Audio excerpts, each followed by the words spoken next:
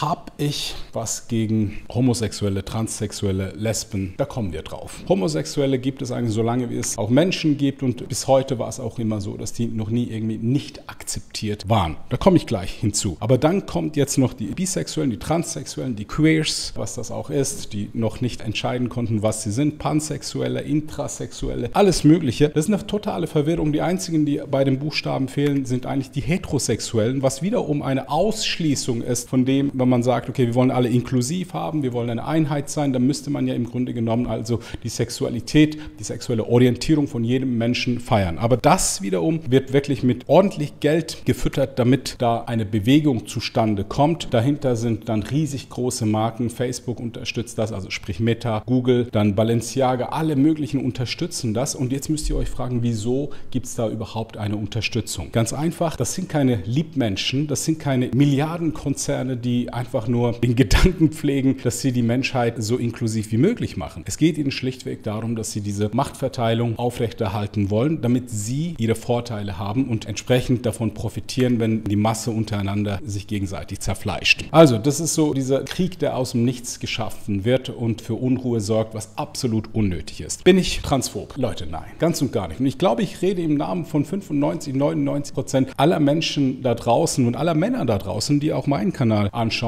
Die Sache ist, ich habe überhaupt nichts gegen Homosexuelle. Jeder soll tun und lassen, was ihm lieb ist. Und im Grunde genommen geht es mir einfach nur darum, dass man mir das Ganze nicht wirklich in den Hals reindrückt und von mir erwartet, dass ich dann entsprechend anders denke, anders rede. Ich habe null Probleme mit Homosexuellen. Hier in Dubai, im Beines kenne ich auch Homosexuelle, die trainieren, die sehen in der Regel am besten aus. In der Vergangenheit hatte ich Homosexuelle im Freundeskreis. In den Anfang 20ern auch so meine Zeit, wo ich viel raus bin. Party machen mit Freunden. Meine Freunde, das waren Türsteher. Der eine war Stripper in einem Stripclub und wir sind da auch schon einfach so in Gay-Clubs gegangen. Einfach nur, weil die Musik verdammt gut war und sonst nichts Anständiges war. Mit Frauen, da kommst du rein und die haben wirklich die Fähigkeit, ordentlich Party zu machen. Ich würde behaupten, die Schwulen, die machen die besten Partys, die können richtig aus sich rausgehen. Und einmal, auch eine lustige Story, waren wir da. Es war so meine Bodybuilding-Zeit und wir hatten ordentlich gefeiert und die haben sich auch alle irgendwie ausgezogen und rumgetanzt. Und ich kam auf die glorreiche Idee, während dem Tanzen dachte ich mir, ja, sind ja alle ausgezogen, ziehe ich auch mein Shirt aus, hab's ausgezogen. Großer Fehler. Der eine hat mich dann so angepeilt und angefangen, mich anzutanzen. Das war mir verdammt unangenehm. Also ich weiß, wie das ist, liebe Frauen, wenn du plötzlich so jemanden an der Backe hast. Eine lustige Geschichte. Mein Kumpel ist dann auf ihn zu, hat was gesagt und danach ist er weg. Hab gesagt, was hast du ihm gesagt? Hab gesagt, du bist mein Freund, der soll von dir weggehen und hat er uns dann auch in Ruhe gelassen. Also so viel zu Homophobie. Im Übrigen sind das, liebe Männer, Geheimtipp, die besten Wingmen. Wenn du einen schwulen Freund hast, die kennen gut aussehende Frauen und die haben das Talent, im 0,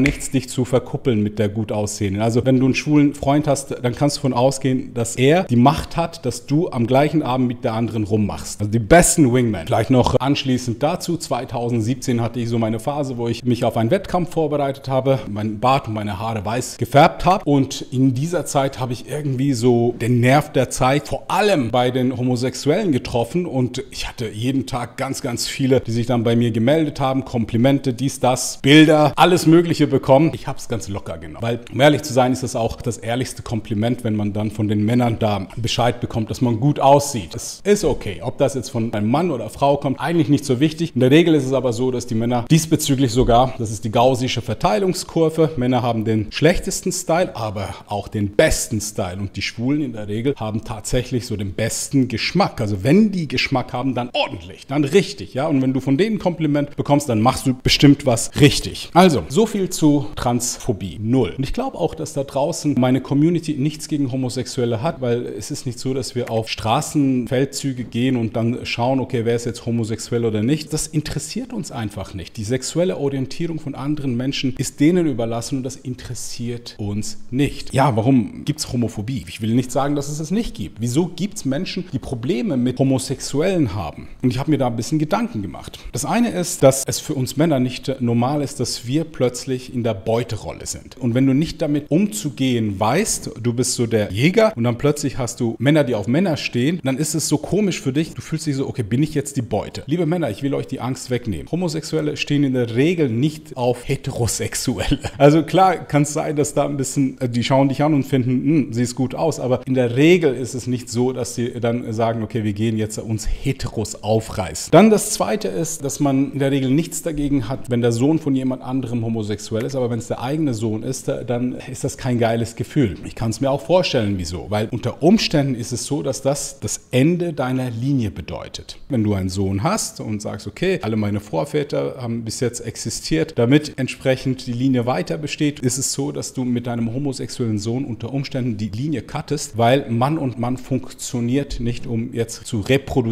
wenn wir jetzt von der DNA reden. Okay? Geht nicht. Da könnt ihr euch einreden lassen, was ihr wollt. Also ich glaube, das ist so das Problem, wieso Eltern halt ein Problem damit haben oder Gesellschaftsgruppen damit ein Problem haben, wenn einer unter ihnen dann plötzlich homosexuell ist, dass das vielleicht schlecht für den Stamm ist und sich dieser Stamm nicht reproduzieren kann. Dann ist es so, dass bei uns Heteros schwul als Schimpfwort gebraucht wird. Warum? Weil du disqualifizierst den anderen aus dem Genpool, wo er sich quasi mit den Frauen reproduzieren kann, weil der ist schwul. Das heißt, es findet eine gewisse Disassoziation statt, indem dass man sagt, der steht nicht auf Frauen. Und da wehren sich halt die Männer und sagen, nee, nee, ich stehe auf Frauen. Und deswegen ist es so, dass schwul so ein Schimpfwort ist, was Heteros untereinander brauchen. Unterm Strich ist es, mein Gott, es ist eine Form von Identität. Das, was aber heute passiert, nochmals, da geht es einfach nur darum, dass man euch die Regenbogenflagge ins Gesicht kotzt, damit ihr einfach mal aus eurer stabilen Position wieder rausbewegt wird. Damit sich wieder etwas Unruhe in deinem Leben tut und du in deiner Vibration, in deiner Frequenz wieder runterrutschst und du wieder unsicher bist, ob du das, was du denkst, richtig ist oder nicht richtig ist, weil jetzt plötzlich ist es so, dass man davon ausgeht, dass Geschlechts was Fluides ist, was über tausende von Jahren nie irgendwie zur Frage gestanden ist und das wird auch in ein paar Jahren wieder nicht zur Frage stehen, ihr werdet es sehen. Das ist etwas, was gepusht wird. Da fließen Milliarden rein. Hollywood investiert ohne Ende, die Companies, die Milliardengesellschaften investieren Milliarden da rein, damit unterm Strich die Menschen destabilisiert werden. Das Schlimmste wäre es, wenn die Menschen zusammenhalten, immer intelligenter werden und im Grunde genommen so zur Erleuchtung hochsteigen, indem dass sie sagen, okay, wisst ihr was, wir müssen uns da nicht gegenseitig immer ausklammern, wir sind inklusiv, danach ist es so, dass wir uns nicht immer messen müssen, also müssen wir weniger konsumieren, danach sind wir in Liebe, Zufriedenheit, in Miteinander und wir können dann halt entsprechend in unsere tatsächliche Macht und Kraft kommen, aber das würde natürlich ganz, ganz viele Unternehmen Umsatz kosten und das ist nicht gewünscht. Was denkt ihr darüber? Schreibt mir bitte kurz in die Kommentare, wie viele Geschlechter es gibt.